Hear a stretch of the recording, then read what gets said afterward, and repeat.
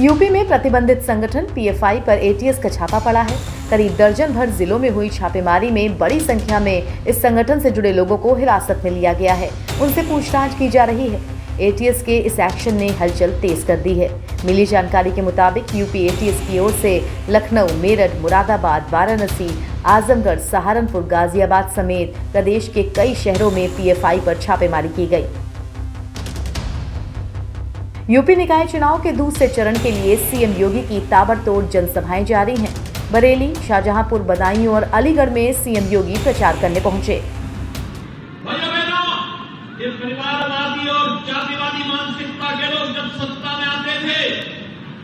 युवाओं के हाथों में तमंचा पकड़वाते थे। हमने तमंचा संस्कृति को बंद किया। हमने तो युवाओं के हाथों में टैबलेट उपलब्ध करवाए हैं। टैबलेट दो करोड़ युवाओं को टैबलेट देने का कार्य हमारी सरकार कर रही है। और भाइयों बहनों अलीगढ़ के ताले का सही इस्तेमाल किसी ने किया है ये डबल इंजन की सरकार ने किया है उत्तर प्रदेश में दंगों पर ताला लग गया है। अलीगढ़ का ताला आज उत्तर प्रदेश के दंगों में लग करके उत्तर प्रदेश गंगा मुक्त हो चुका है।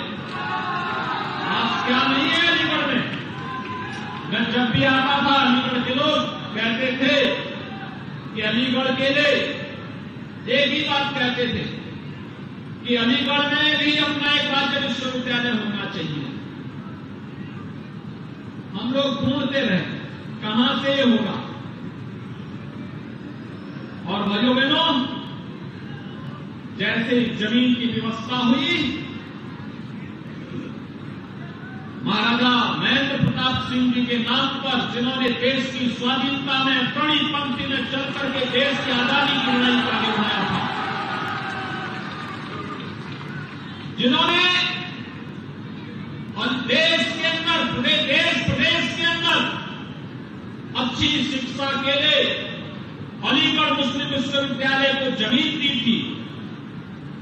अलीगढ़ मुस्लिम विश्वविद्यालय में भले ही उनके नाम का कोई शिलापट न हो। लेकिन भारतीय जनता पार्टी की डबल इंजन की सरकार ने राजा महेंद्र प्रताप सिंह के नाम पर एक राज्य विश्वविद्यालय के निर्माण का कार्य इसी अलीगढ़ में प्रारंभ कर दिया। गोरखपुर विश्वविद्यालय में बनाए गए स्ट्रांग रूम में जहाँ प्रत्याशियों के समर्थक डटे हुए हैं, वहीं प्रत्याशी भी समय समय पर पहुंचकर सुरक्षा व्यवस्था का जायजा ले रहे हैं। इसी बीच सपा प्रत्याशी काजल निषाद भी पहुँची। उनका कहना था कि इस बार जनता ने मुझे भरपूर प्यार दिया है, मेरी जीत सुनिश्चित है। हमें सरकार पर भरोसा नहीं, इसीलिए समर्थक और कार्यकर्ता यहाँ दिन रात ईवीएम मशीनों की सुरक्षा कर रहे हैं। सरकार पे तो बिल्कुल भरोसा नहीं है मेरे भाई, बिल्कुल नहीं है। और सारी चीज़ें जो है, दूर बैठकर भी कहीं हैंडल की जा सकती है। तब अंतरिक्ष में कई चीज़ें हम यहाँ बैठे बैठे हैंडल कर सकते हैं। तो दूर दराज से जो है ईवीएम मशीन भी हैंडल हो सकता है।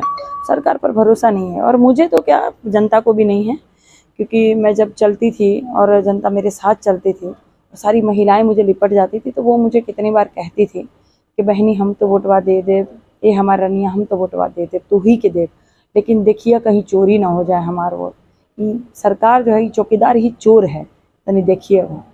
तो जनता को भी भरोसा नहीं है। तो मैं अपने जनता का जो धन है, अपनी जनता का जो फल है, उसी की रक्षा कर रही हूँ। मुख्यमंत्री योगी आदित्यनाथ ने मणिपुर हिंसा में फंसे यूपी के लोगों की मदद की अपील का संज्ञान लेते हुए गृह विभाग को निर्देश दिया है। इसके लिए प्रदेश के राहत आयुक्त कार्यालय को मणिपुर सरकार से समन्वय की ज़िम्मेदारी सौंपी गई है। मुख्यमंत्री के निर्देश पर सचिव संजय प्रसाद ने की मणिपुर के मुख्य सचिव से वार्ता और हर संभव मदद का अनुरोध किया। बता दें कि मणिपुर हिंसा में यूपी के करीब 80 छात्र छात्राएँ फंसे हुए हैं। भाजपा के सांसद ब्रिजभूषण शरण सिंह कैसरगंज और गोंडा संसदीय क्षेत्र पहुँचे। एक निजी नर्सिंग होम का उद्घाटन करने पहुँचे थे ब्रिजभूषण।